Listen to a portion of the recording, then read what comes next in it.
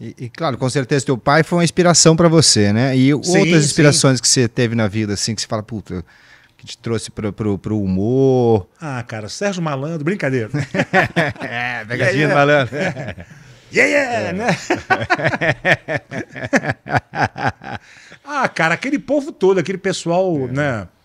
É, aquele pessoal da escolinha, o, o Walter Dávila, Geraldo Alves e, cara, um monte de gente né? Muitos eu trabalhei, o, o, porra, Jararaca, vocês nem sabem que é, tinha uma dupla chamada Jararaca e Ratinho, que era uma dupla, uma dupla caipira, como se falava antigamente, né?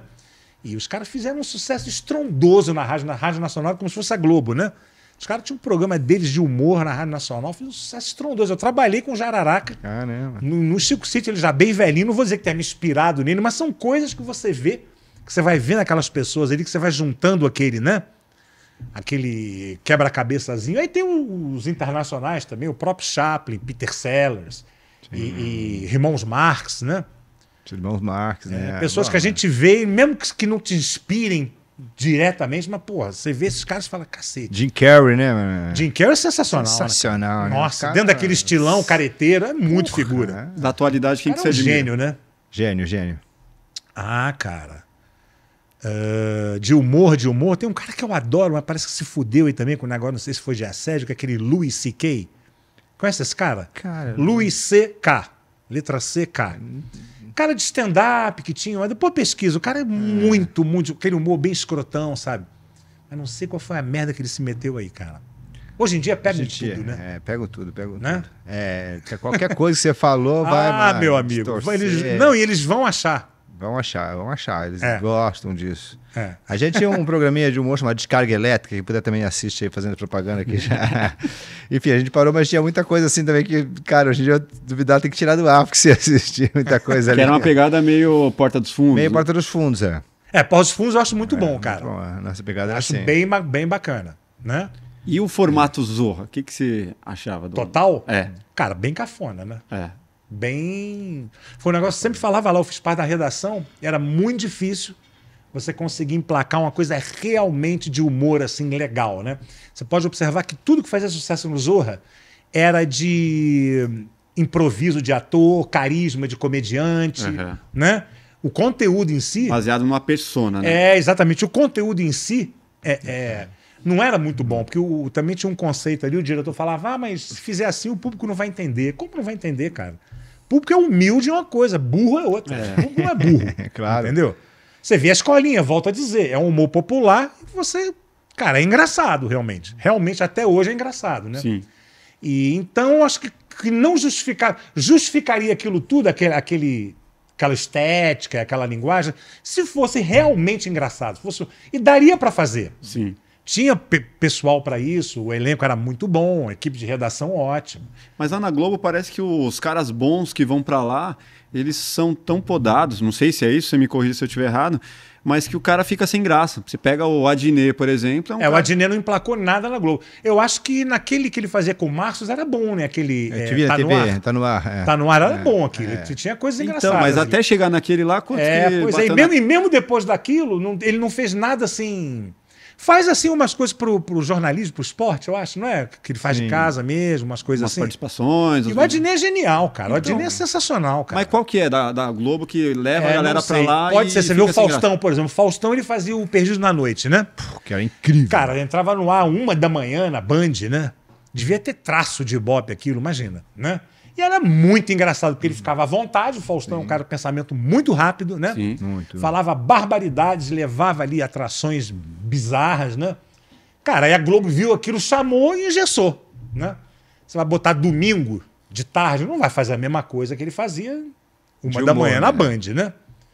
E engessou total, ficou sem graça, né? Mas você que viveu lá dentro, o que que eles fazem? É uma burocracia? É o ah, texto ah, cara, que não, precisa é um, passar é um por muita gente? É, exatamente. É um conceito que, que aí vem aquelas pesquisas todas, que eles fazem umas pesquisas punk, assim, de sérias, né? Aquelas pesquisas caríssimas, né? Pesquisa né? de achar persona, quem que é a nossa... É, não, que funciona, não, e o, que, o que, o público acha, O que, né? o público acha, o que, o público está gostando, o que, que deve tirar, o que, que deve botar e tal, né? Uhum. Não sei também até que ponto eles seguiam, tanto que... é, é, é não sei realmente o que acontece. Pode ser isso, cara. Uma, uma, uma emissora muito grande. Que, muito né? cacique. é que até pouco tempo monopolizou muito, né? Agora já está. Hum. Ainda bem que a coisa está começando a espalhar mais, né? Uhum. Qualquer tipo de monopólio é ruim, né? É ruim, é ruim. Né? Por mais que a Globo seja extremamente importante no ramo de audiovisual, né? E faz coisas muito boas, né? Porra, novelas, Sim. séries incríveis, não, nossa. Não, não, tem nem o que dizer. Né? Fantástico, e o, né? E o quanto que reverbera, né? O que eles. Exatamente. Pô, Mas agora, com a internet, o buraco é mais embaixo, né? Agora. Exato. Né? E. Então, não sei, pode ser isso, cara. É uma coisa de poder muito grande, talvez, que. Né? E aí, não, não, não pode pegar isso. Não pode aqui. isso, não pode aquilo. É, não pode, pode isso. Aí vem listinhas Corta, com coisa que não é. pode usar, que não pode falar, sabe? Ou então vamos atender as cotas, né? É, e o jurídico é, quer que fale isso, é. sabe? Tem é. todo esse lance. Não, né? Você tem ideia lá, o, o cara que né, vai sair de carro, o cara vai ser. Ele tem que botar o cinto, Miguel. Eu falei, mas o cara é um assassino, meu. O cara... É não, mas. O Miguel, pra quem não sabe, já fez duas, três novelas quatro na Globo. Novelas, quatro, quatro, novelas, novelas na Globo.